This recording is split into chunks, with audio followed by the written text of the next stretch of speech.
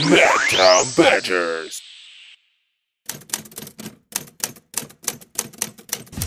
What's going on, Badger Nation? Andy Coppens, managing editor here at Madtown Badgers, coming to you with a brand new feature. That's right, folks. We're trying new things out this summer, and right now it's our brand new feature called From the Editor's Desk. It's my weekly effort to give you a video, and I kind of just get some stuff off of my chest, what kind of comes across here, and, and what I'm seeing from across Badger Nation.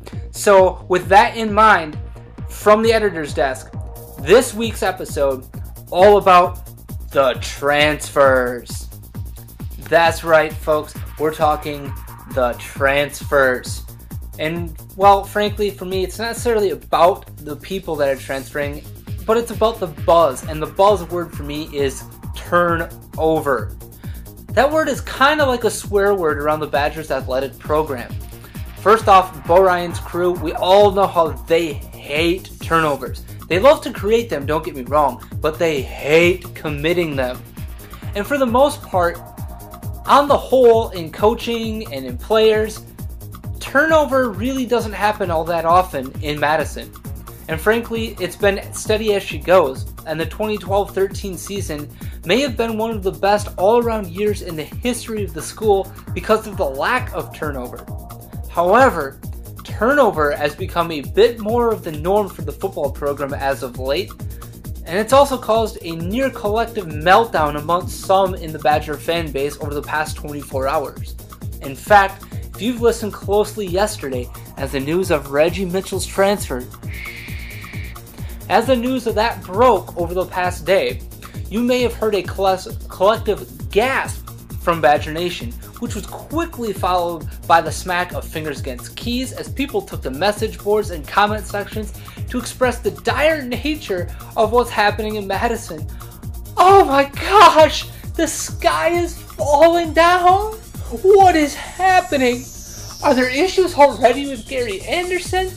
I mean, how could a guy who is going to be starting for our beloved Badgers pass that chance up?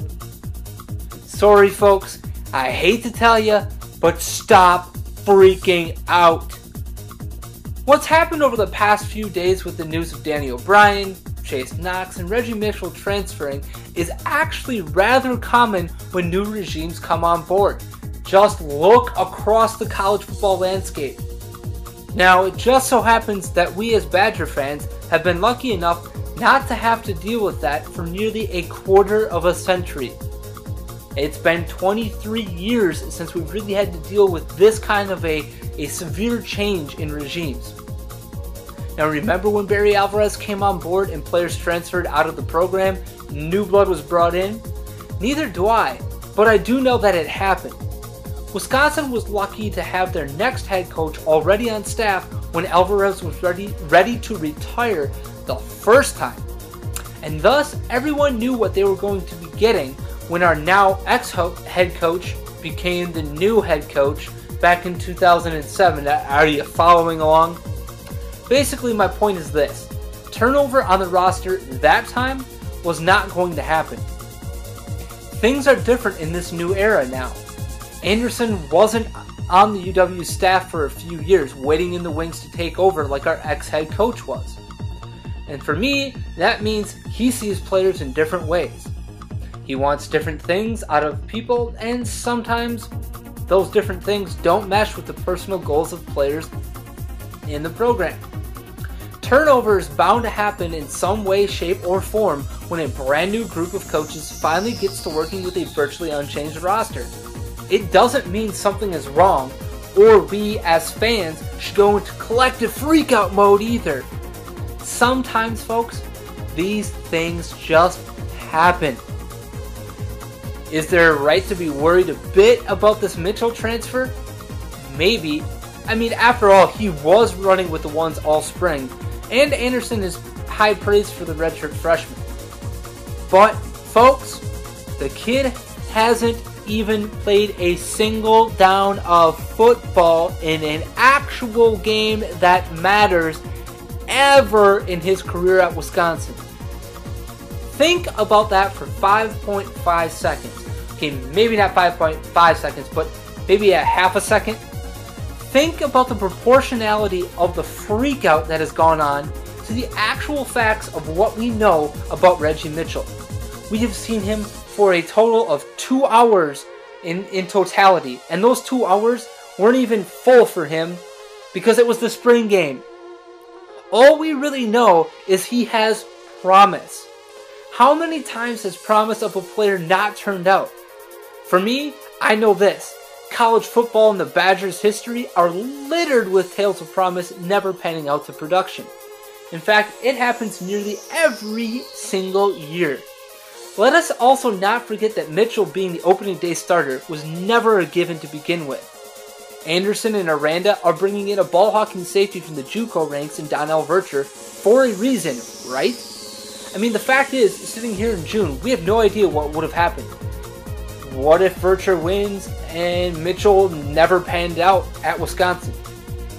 Why the freakout? If Mitch, if Vercher doesn't pan out, maybe there are some other options out there. But frankly, we don't know enough in June. Sure, losing a talented player like Mitchell hurts a position group that is low on quality depth. At least depth with any experience behind it, and that's the key phrase. But you also have to ask yourself this question Do you really want someone on your roster who isn't buying into the program as a whole? Or whose heart is hundreds of miles away somewhere out in Pittsburgh, Pennsylvania? For me, the simple answer is no.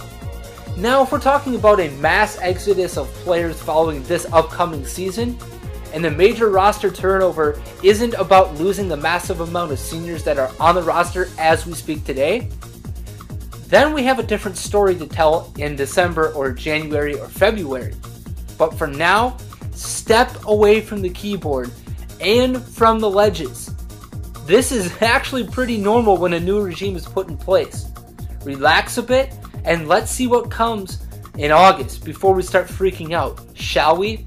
Remember, folks, we as Badger fans have been hella lucky in the past 25 years to have to not deal with this. Hell, just look to the f- folks in Eastern Dakota for all the roster turnover news and notes you need to know. Because frankly, in the past decade, they've gone through it over and over and over again we haven't de- needed to deal with it, so stop freaking out. Again, this is Andy Coppens, managing editor, MadtownBadgers.com, and this has been a new edition of From the Editor's Desk.